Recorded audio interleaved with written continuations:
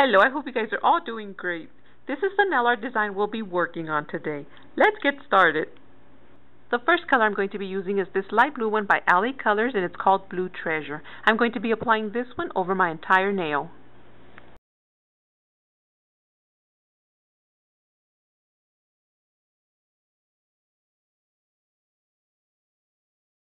Now using this blue nail polish by Milani called Blue for My Baby, I'm going to be applying a side swipe. I'm going to be using this white nail polish by Santee and I'm going to be applying it to my makeup sponge. I'll be randomly sponging my entire nail. Now I'll be applying this NYX glitter polish called Aqua Glitter over my entire nail.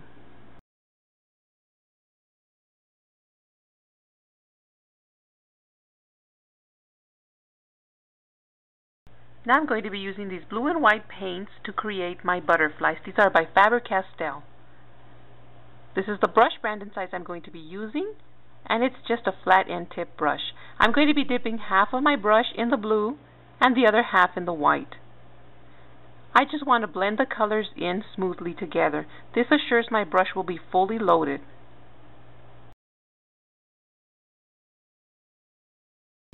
I'm going to start with the lower wing of my butterfly.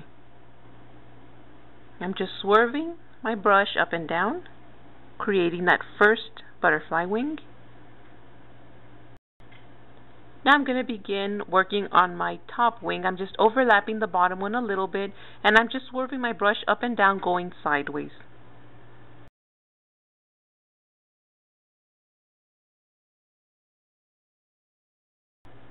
This is the brush brand and size I'm going to be using now to create the little butterfly's body and outline the wings.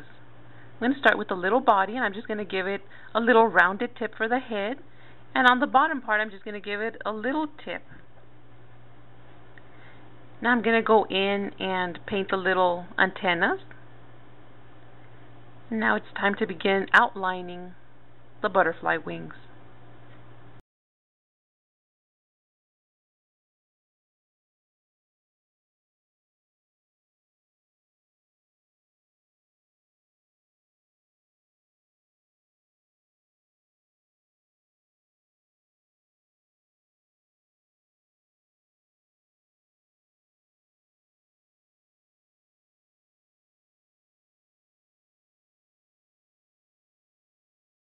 I'm going to show you very quickly how I worked on the flowers on the rest of my nail design. I'm doing the same thing, just blending in my colors, making sure my brush is fully loaded.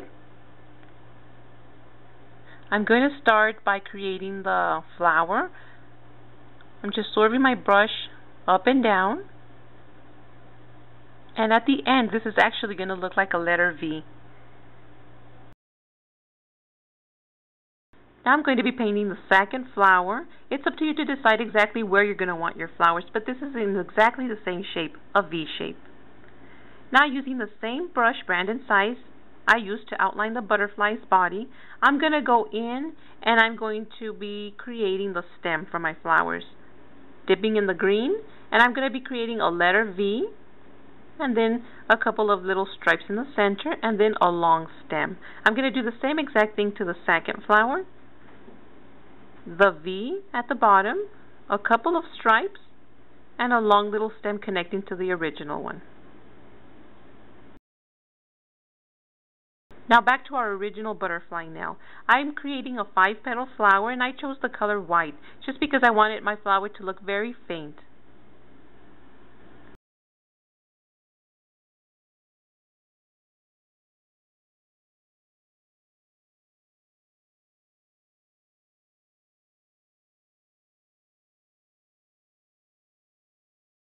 Under my butterfly, I'm going to be creating a half three petal flower in the color white as well.